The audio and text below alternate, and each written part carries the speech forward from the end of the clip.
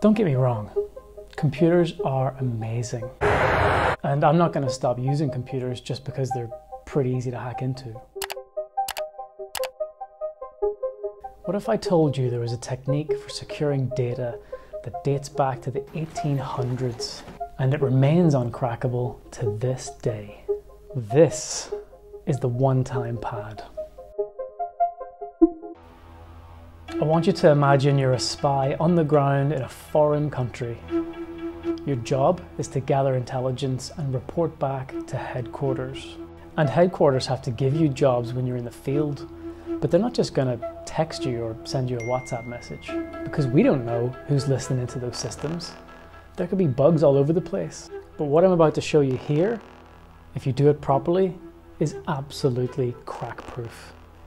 And the concept behind the one time pad dates back to 1882. It was originally designed by a guy called Frank Miller. He was a banker and he made this code book that would help secure banking transactions way ahead of its time. But in 1917, a guy called Vernam took it to the next level. And that is what we're going to look at right now. You get this tiny little piece of paper. Can you see it? Okay, you can't see that. Is it? Here we go. Here it is. This is just a blown up version of one of these. A little bit easier. This is your key. Far too big to be used in reality. But this is what you're going to use to encrypt your message. So we need a message. Here are a few prepared messages. This little crib sheet comes from Dirk's paper on how to secure communications using the one time pad. I'll put a link to this in the description. So thank you, Dirk, for making this. If you wanted to say train tomorrow, you would use these numbers, and that's what we're going to do now.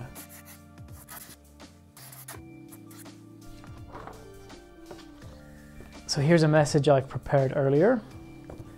604 photograph 064 airplane 820 tomorrow 569 night. Photograph airplane tomorrow night. Nice. And it's also much shorter than writing out the words photograph airplane tomorrow night, which has this many letters in it. So that's the big benefit of using a pre-planned sheet of paper like this. You can take a 10 letter word and make it a three number word. So now that we have this, what do we do? We won't use the first five digits and I'll show you why later. We'll start with the second group. You write those underneath these numbers. Six, five, five, three, nine. Next group, one, one, six, one, nine, seven, two. Here's where it gets a little bit complex. You got to do this modulo addition and subtraction. On the encryption side, we got to do modulo subtraction. And when you receive the message on the other end, we have to do modulo addition. What that means is, practically for you, if the number on the bottom is bigger than the number on the top, this example of 5 and 0, what you do is you imagine a 1 before the 0, so it's actually 10. 10 minus 5 is 5. Okay, so here we go. 6 minus 6 is fine, 0. 10 minus 5 is 5.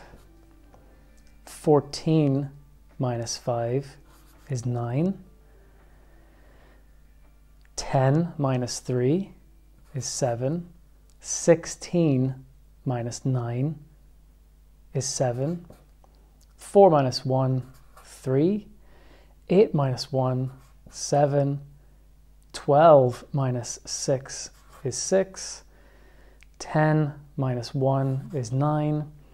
15 minus 9 is 6.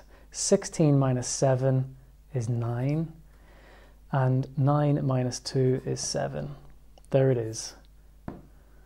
You started off with your actual message, your plain text. Then you subtracted the key, and that leaves you with the encrypted numbers. Those numbers you can send to your recipient any way you want. You could text them, you could put those in a WhatsApp, you could put those in a FaceTime call, you could send them via Morse code over the radio, you could take an advert in the New York Times on a specific day where the recipient knows to look in the New York Times, and you could have those numbers provided they have this on their end, they will be able to do the math to work out what that means. And we can do that now. It's the reverse process. So we'll take the encrypted message, then we'll add the key, and then we'll end up with the plain text numbers. So the key is 655391161. So those are the numbers from the key. And now you're going to do addition. So 6 plus 0 is 6.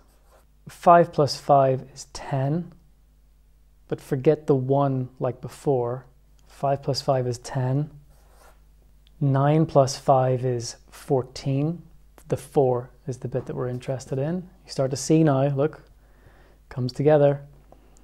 7 plus 3 is 10. We're interested in 0. 6, 4, 8, 2. There we go. So now we have the numbers.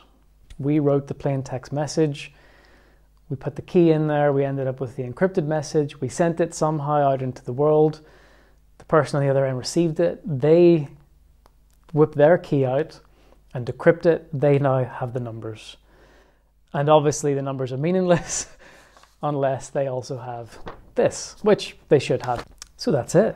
Once you encrypt your message using the key, you destroy the key.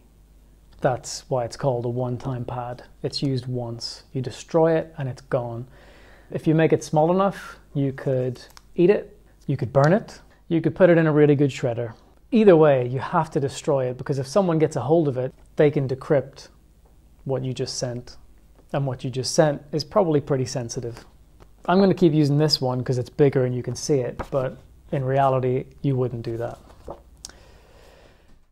But what if we want to say more than just what's on here? Well, we could use this, another crib sheet.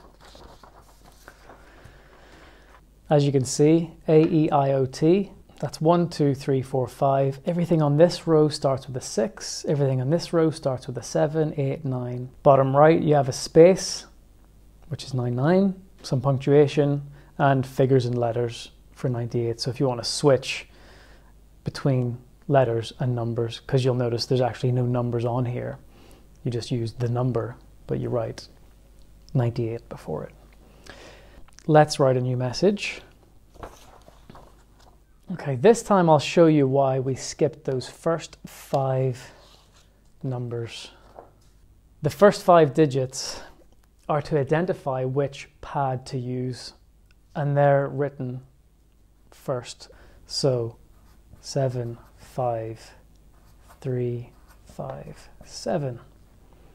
That's it. We won't encrypt this at all. This will be sent in plain text essentially to the recipient. So when they get the numbers on the other end, they know which one of their little sheets that they need to use to decrypt the message. So here's what we want to say P is 80.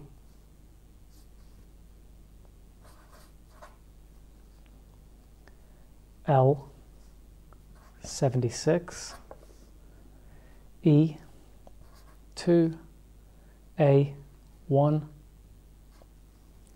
S 84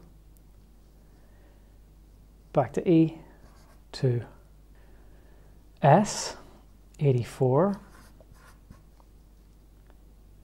U 86, B 61, S 84, C 62, R 82, I 3, B 61, E 2. It says, please subscribe. So we're going to take this and we're going to add the key. We've already got the key identifier. And now we're going to do the numbers again.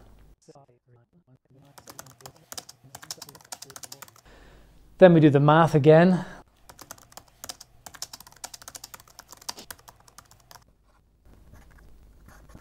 That's it. Please subscribe. So now we send those numbers, this bottom group, this bottom group, and the key first. One, two, three, just like that. Any method we want. Morse code, an Instagram picture with the numbers in it. Doesn't really matter. They get it at the other end, do the decryption, use their sheet, and then hopefully they'll subscribe. And this is truly uncrackable. The only way to break this message is to get this key. That's it. So once you encrypt, you get rid of your key. And once the person on the other end decrypts, they get rid of their key. You're home free. So if it's so amazing, why don't we just do this all the time? Well, very, very hard to do all the time. What if you just want to tell your partner to pick up some milk from the shop on their way home from work? Doesn't really work. But it is a really good way of encrypting information.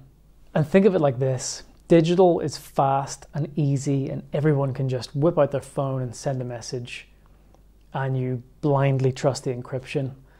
With this, you don't really have to trust the encryption. So, the difficulties of this system are the production of these little pieces of paper, and they have to be truly random. If the numbers aren't truly random, the encryption will fail. Someone somewhere will be able to capture that message in transmission and store it in a computer system and analyze it over time and figure out a weakness. If these are not random, then there's repetition. And where there's repetition, there's weakness. These numbers probably aren't random. I made these numbers in Excel because normally it works like this. You remember when you're a kid and you got A, B, C, and you turn that into one, two, three. Easy, yeah? Or maybe you take A, B, C and turn it into D, E, F.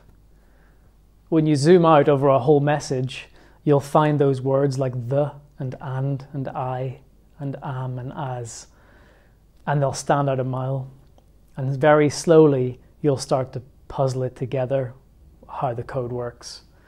With this, you can't do it. It is uncrackable. If someone from the NSA is watching, take those numbers there, the encrypted numbers, put them into your big fancy computer, try and crack it. I'll see you in never because it's impossible to crack as were things like iMessage, WhatsApp, Facebook Messenger, FaceTime, Skype, Zoom, Teams. They all go through various fluxes of being secure and insecure. This, uncrackable. Unless, of course, you don't follow the rules. Truly random numbers to make these, and you only use them once. That is the one time pad that's why it's so good. Have a play, download Dirk's PDF, and have fun. See you next time.